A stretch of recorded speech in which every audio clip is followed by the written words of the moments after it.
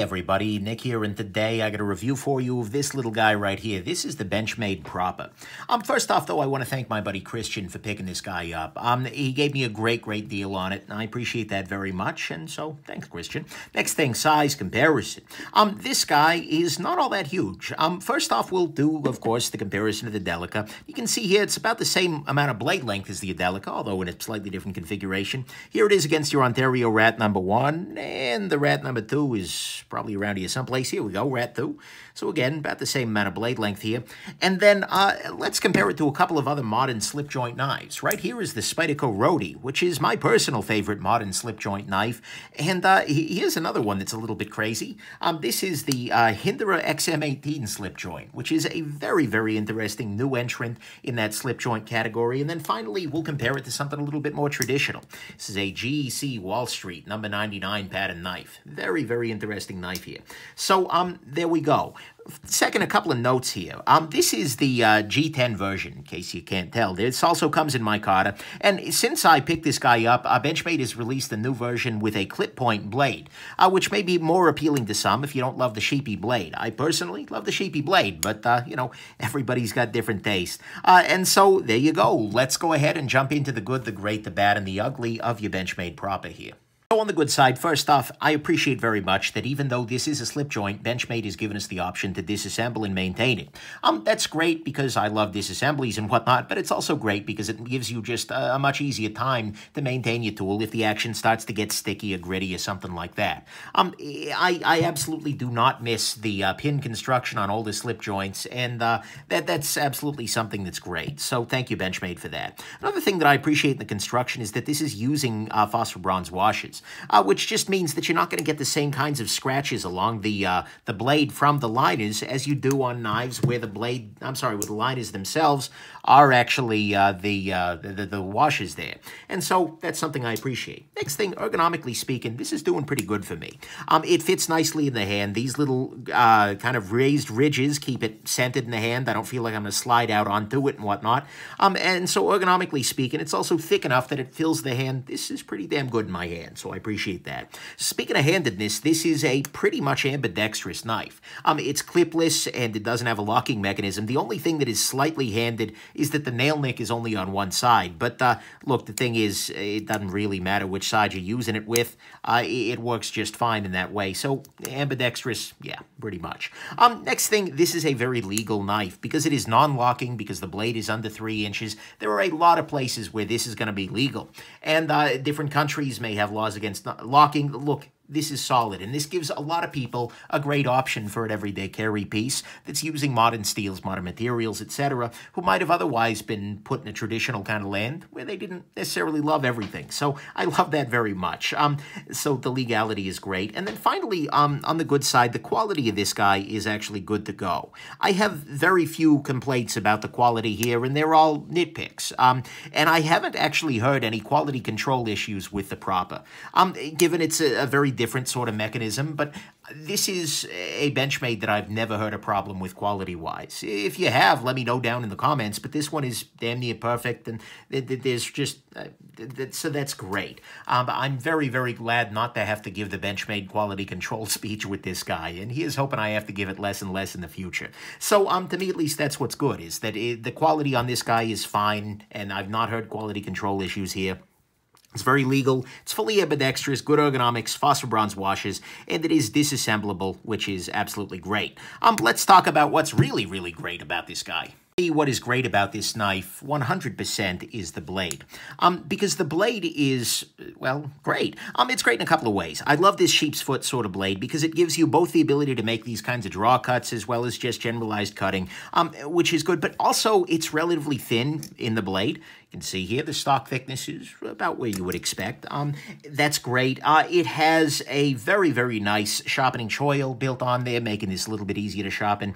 Um, it is relatively slicey. It could be a little thinner behind the edge, but it is absolutely relatively slicey. Um, and best of all, the steel is S30V. Look, S30V is a great modern steel. It is a super steel. And compared to what you were offered in a lot of traditional knives, which are usually some sort of a high carbon steel, uh, you know, some lower end stainless, this is pretty excellent. And so to see more traditional style knives available in modern steels, absolutely 100% is great to me. And so the, the best part about this knife, in my opinion, is this blade. It is a great blade. Um, let's talk about what's bad here. On the bad side, first off, um, although I was just praising the blade, I think they could have absolutely ground this a little more aggressively and ended up thinner behind the edge. Traditional knives are generally slicing beasts, and so I don't love seeing the trend of overly thick grinds applied to them. Uh, so I do hope that Benchmade for future models does grind that a little bit more thinly. Um, next thing, this does not come with a slip or a clip or anything like that, which means the only way you're going to be able to carry this guy is just by tossing it in your pocket. And look, that works fine. The pull on this is fine, such that it's not going to come open. Um, but it's not something I fell in love with. I ended up, I had a leather slip around that I ended up using for it, but still, um, not so great. I'd love to see them offer something like that, especially at this kind of price. Next thing, and the only real fit and finish foul I can ding them on here is that the back on this guy isn't super smooth you can see maybe that there are little kind of differences in prominence between all of these various layers. It's not a huge deal, but it's definitely enough to snag your fingernail coming across there. And it's not great, especially compared to what you see on other traditional knives where there's just a very smooth surface there. That's one area that Benchmade could absolutely up their game as they continue with this guy. Next thing, um, I gotta say, the nail nick doesn't do it for me. I don't love nail nicks to start with, um, but this guy just feels like somebody just hit the knife with a Dremel before it went in a box. And and the fact that it's not on the other side, too, I don't know. Um, I would much prefer this knife without the Dremel. Uh, I'm sorry, well, yeah, actually without the Dremel, but uh, without the nail nick, but with an easy open notch. That's what I've got on this little guy here, where the, the, the blade, uh, the, the handle drops down just a little bit, so you can really get in there with your thumb and do a better job of popping it open. I can open this two-handed, no problem, but that easy open would make this a little nicer. Next thing, this is more maybe a personal taste thing, but it feels like the handle of this knife is a lot lower than the blade of the knife. And that as a result makes the blade feel like it's very likely to do something like this as I'm cutting with it. Um, I mean, especially because I want to choke up and I want to have my thumb up here. My thumb is going to be pushing down this was really, really unpleasant. Given I'm used to slip joints with some kind of a finger choil, or at least with an unsharpened area at the base of the blade, so that if it does start to cut, this is a backlock, but still, that, that if it does start to cut, it'll just stop your finger. Your finger will stop it on a unsharpened area this guy always left me feeling a little bit concerned because if this starts to shut, it's just going to start cutting my finger, and that's that's just not great. Um, and so I would prefer that they uh, just do that a little differently. Give me a little unsharpened area, or something like that, just so I feel a little more secure in that. Maybe that won't bother slip joint guys who are used to it, but it sure bothered me. And part of the reason it bothered me a little bit, and something that will bother slip joint guys, is that the action on this guy isn't all that compelling. Um, the spring on it feels a little bit weak, and it's not very snappy. Uh, it is very straightforward to just move this guy around with just a little bit of thumb motion, um, more so than some other slip joints I've handled. Um, and, you know, there are, it does have a half stop, but it's it also has a three-quarters stop. Like, it feels like it wants to stop here, and then here, and then then it finally snaps shut there. But there's not all that much snappitude to it. I mean, in some areas, if you set it up right, so the action on this guy is just not super compelling. If you are used to a slip joint with the great walk and talk, this probably isn't going to impress you. It's okay, it works, but I'd love to see a little more tension keeping this guy closed, and I'd like to see a little bit more smoothness in this process. But that said, this is Benchmade's first slip joint, and it's not all that bad for their very first rodeo, so to speak.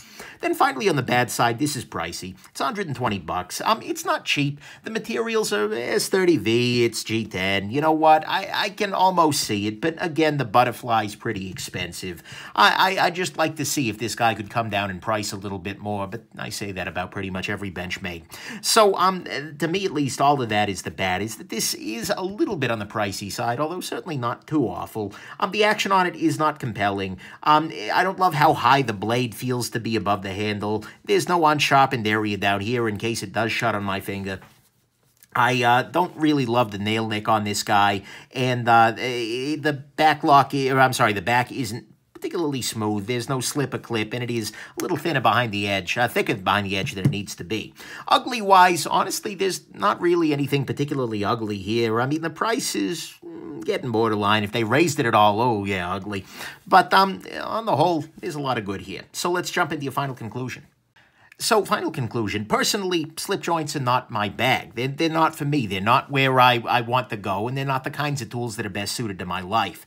But that said, this is a pretty damn good knife, and it is more importantly a knife that I love seeing, because it shows me a lot of good things. First off, it is a traditional knife made by a modern company using modern materials. That is absolutely something that needs to happen, and I cannot wait to see more blending of traditional and modern in every dimension. I think that we have moved very far forward in the modern knife market, but there is a lot to be gained from looking back at some level. So I, I love seeing that. It is also way outside Benchmade's norm and their comfort zone. Um, considering that for a while there, Benchmade was kind of just the Axis lock company, seeing them drop a slip joint is a new trick from an old dog. And that really, I don't know, I hope that this continues to revitalize the brand and to give people an impression of Benchmade as something more dynamic, uh, which is good. It is also very nicely made, which is another thing that Benchmade really needs to be doing right now. It's very legal in many places, which is great. And frankly, knives like this, these sorts of uh, modern and traditional things, are a great way to pull in new people from outside of the, you know, EDC world, so to speak, into carrying a pocket knife. Somebody might start here because that's what Grandpappy carried, and then they might end up with, you know, your 940 or something when they realize, you know, holy crap, this is a really useful tool, but I kind of want one with a clip, or I want one I can open with one hand. You know, this kind of thing is going to sell a lot of 940s down the road. Um, and so I love, love, love seeing them doing things like this and their collaborations with Shinola and otherwise. Um, this is a great idea for the industry in general. As for the knife itself, I think it's pretty good, but I also think Benchmade's going to do it better over time, because they haven't immediately created the slip joint to end all slip joints. I hope future versions have a slightly better action. Maybe they lose the damn nail nick, and that they uh, can find a way to use a slightly less expensive butterfly on the blade and get that price down.